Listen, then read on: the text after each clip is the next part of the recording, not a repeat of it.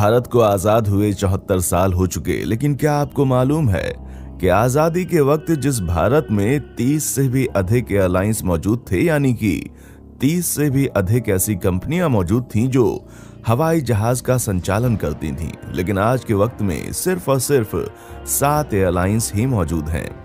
आखिर एयरलाइंस में इतनी भारी भरकम कमी की वजह क्या थी?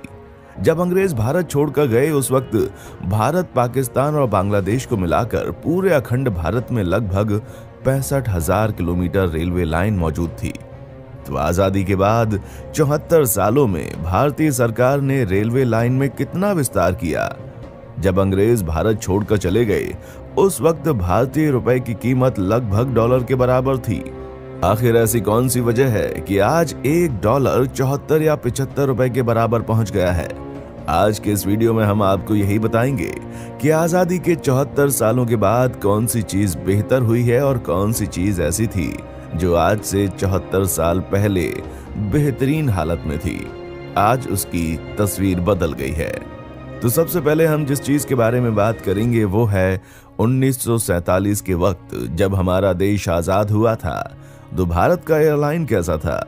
आपको जानकर हैरानी होगी कि 1947 में जब अंग्रेज़ भारत छोड़कर चले गए, उस वक्त हमारे देश में Indian national Airways एम्बेक Airways Kalinga Airways Air Service of India Bharat Airways Himalaya Aviation Deccan Airways सहित लगभग 30 से अधिक एयरलाइंस इंडिया में मौजूद थीं। यानी कि 30 से भी अधिक संस्थाएँ ऐसी थीं जो कि भारत में हवाई जहाज़ की सुविधाएँ प्रदान करती थीं। लेकिन आपको जानकर हैरानी होगी कि आज़ादी के चौहत्तर सालों के बाद आज भारत में महज सात एयरलाइंस मौजूद हैं। दरअसल, एयरलाइंस की इतनी भारी संख्या में घटने की एक बहुत बड़ी वजह है। जिस वक्त भारत आज़ाद हुआ था, उसी के कुछ साल पहले द्वितीय विश्व युद्ध का अंत हुआ था। द्वितीय विश्व युद्ध में अपना राज कायम करने के लिए अमेरिका ने हज़ारों हवाई जहाज़ का निर्माण करवाया था। लेकिन जैसे ही द्वितीय विश्व युद्ध खत्म हुआ, अमेरिका के पास ना तो इतनी जगह थी और ना ही इतने अधिक हवाई जहाजों की कोई ज़रूरत बची। अमेरिका ने अपने हवाई जहाजों को बेचना शुरू कर दिया। उस वक्त भारत में बहुत से ऐसे अमीर लोग थे जिनके पास हवाई जहाज़ के बिज़नेस की कोई खास जानकारी नहीं थी। लेकिन इसके बावजूद भी भारत के उन अमीर लोगों ने हवाई जहाज़ को अमेरिका के हाथों से खरीद लिया और एयरलाइंस की दुनिया में बिज़नेस शुरू कर दिया। उन सभी बिजनेसमैन को हवाई जहाज़ के बिज़नेस का जरा भी नॉलेज नहीं था। और भारतीय हवाई जहाज़ के मार्केट में कंपटीशन इस कदर बढ़ गया कि वे लोग इस कंपटीशन को संभाल ही नहीं पाए और धीरे धीरे भारत का हर एक एयरलाइन बंद होता चला गया। आज के वक्त में भारत में लगभग सात एयरलाइंस मौजूद हैं जो ज़ोर शोर से अपने काम को पूरा कर रही हैं। आपको जानकर हैरानी होगी कि आज़ादी के वक्त भारत में महज पंद्रह एयरपोर्ट मौजूद थे? लेकिन आज के वक्त हमारे देश में 500 से भी ज़्यादा एयरपोर्ट मौजूद हैं और अभी भी कई ऐसे एयरपोर्ट हैं जो तैयार हो रहे हैं। अब बारी आती है भारत के मुद्रा की, यानी कि रुपयों की। दोस्तों, आज़ादी के वक्त भारत की करेंसी रुपया ही थी और आज भी रुपया है। सोशल मीडिया पर आपने कई ऐसे मैसेजेस पढ़े होंगे जिस पर यह दावा किया जाता है कि आज़ादी के वक्त भारत के रुपए की कीमत डॉलर से अधिक हुआ करती थी। ये बात बिल्कुल गलत है।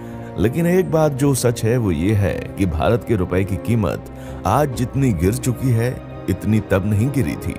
शायद आपको यकीन ना हो, लेकिन जिस वक्त भारत आज़ाद हुआ था, उस वक्त एक डॉलर भारत के लगभग तीन रुपए के बराबर था। लेकिन अमेरिका ने अपने देश की अर्थव्यवस्था को इतनी तेज़ी से मज़बूत किया कि 2020 आते आते आज उसी डॉलर की कीमत चौहत्तर से पिचहत्तर रुपए तक आ पहुँची है। भारतीय मुद्रा से जुड़ी एक रोचक बात यह है कि जिस वक्त भारत और पाकिस्तान का बंटवारा हुआ था, उस वक्त पाकिस्तान की एक बड़ी समस्या ये थी कि पाकिस्तान में कौन सी मुद्रा चलेगी हुआ ये कि बंटवारे के वक्त भारत के पास नोट छापने वाली छह मशीनें थीं और वे सभी मशीनें भारत में ही रह गईं। इसलिए पाकिस्तान ने परमिशन लेकर भारत के ही नोट पर हुक्म पाकिस्तान लिखकर अपना काम चलाया था अब बारी आती है बॉलीवुड की, यानी कि भारत में बनने वाली फ़िल्मों की। दोस्तों, आपको यकीन नहीं होगा, जिस साल भारत आज़ाद हुआ था, उसी साल भारत के सभी फ़िल्म मेकर ने मिलकर दो से भी ज़्यादा फ़िल्मों को लॉन्च किया था। हैरानी की बात तो यह है कि उस सभी दो फ़िल्मों का बजट इतना ज़्यादा था कि उनमें से हर एक फ़िल्म कम से कम औसतन डेढ़ से दो लाख के खर्च में तैयार की गई थी।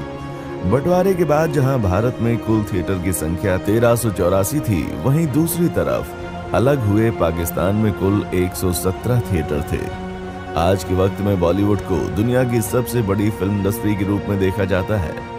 बात अगर साल 2019 की करें तो सिर्फ़ और सिर्फ़ साल 2019 के अंदर ही भारत में 2000 से अधिक फ़िल्मों को रिलीज़ किया गया। अब हम बात करेंगे भारत की आज़ादी के वक्त चीज़ों की कीमत की।